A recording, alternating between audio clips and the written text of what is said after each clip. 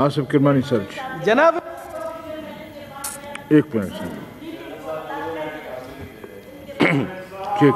बिसमीम शुक्रिया जनाब चेयरमैन साहब। मैंने बड़ी क्विकली तीन नुकात हैं। उस पर मैंने अर्ज़ करनी थी। ये सर जो टर्की में और शाम में जल्ज़ला आया आज एक मैंने वीडियो देखी जी कि एक वहाँ का टर्की का कोई शॉपकीपर है और उसने ऐलान कर दिया कि आओ, मैंने इस दुकान से सारी उम्र बहुत कमाया है। जो जो पड़ा है यहाँ सुई भी ना छोड़ो, सब कुछ ले जाओ। ये एक, मैंने आज तस्वीर का रुख देखा। और बड़े अफसोस से मुझे कहना पड़ता है, जनाब चेयरमैन, आज नौ दिन हो गए हैं और दस दिनों में दो मरतबा पेट्रोल की मसनू किल्लत पैदा की गई। आज भी पाकिस्तान के मुख्तलिफ़ शहरों में पेट्रोल जो है वो अदम दस्तियाबी है, दे नहीं रहे और मसनू किल्लत पैदा की और झूठ बोल रहे हैं।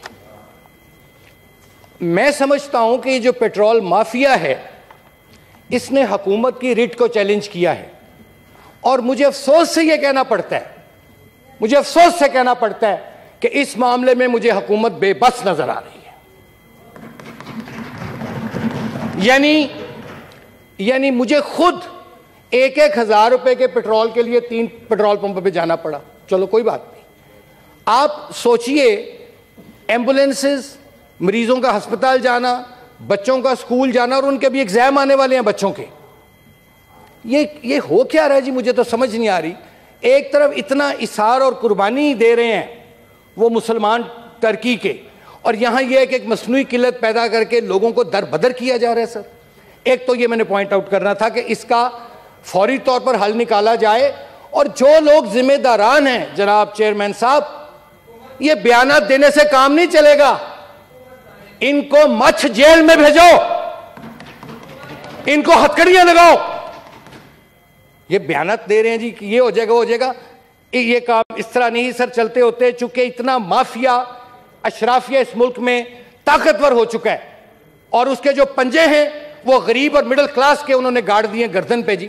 कब तक ये सिलसिला चलेगा, जनाबे चेयरमैन साहब? काश आज यहाँ वज़ीर पेट्रोलियम होते तो मैं पूछता उनको कि ये क्या तमाशा लगा हुआ है? आपसे ये मुट्ठी भर पेट्रोल माफिया कंट्रोल नहीं हो रहा? Number two, sir number two, sir, के इस बात को भी आज नवा दिन है गालबन। एक इंतहाई अफसोसनाक इंधोनाक शर्मनाक वाक्य होता है एफ़ नाइन पार्क इस्लामाबाद में। यह जिस वक्त मैं आपके सामने गुजारिशात पेश कर रहा हूँ, अभी तक उस वाक्य के मुलजिमान गिरफ़्तार नहीं हो सके और उसको ब्लैकआउट कर दिया गया मुझे डर है कि उसमें भी कोई पिदरम सुल्तान बूथ ज़रूर मुलविस होगा। जो अभी तक मैटर को हशब किया जा रहा है और कोई बताया अपडेट नहीं दी जा रही इस्लामाबाद पुलिस की तरफ़ से कि एक बच्ची है, वो गई है, सबकी बच्ची है, हमारी बच्ची है, आपकी बच्ची है, सबकी बच्ची है, पाकिस्तान की बच्ची थी वो। वो जाती है एफ़ नाइन पार्क में और उसको रेप किया जाता है और तमाम मीडिया भी चुप है अभी और तमाम जो आपका ये सिविल सोसाइटी और आपकी इवन इस्लामाबाद पुलिस खामोश है उस पर। मेरी ये गुजारिश है कि इस मामले को सर टेकअप करके और इंटीरियर मिनिस्ट्री में आ, कमेटी में भेजा जाए और आईजी जो है वो आकर हमें बताए कि उसने अभी नौ दिनों तक दस दिनों तक उस मासूम बच्ची के जो भयानक सानिया हुआ उसके साथ उसके जिम्मेदारान की गिरफ्तारी के लिए क्या किया।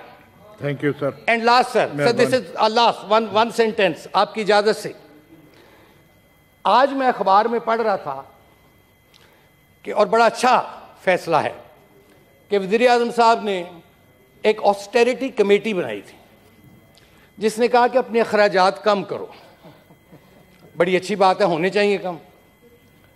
उसमें यह भी लिखा था कि अरकान पार्लियामेंट की तनख्वाहें कम की जाए।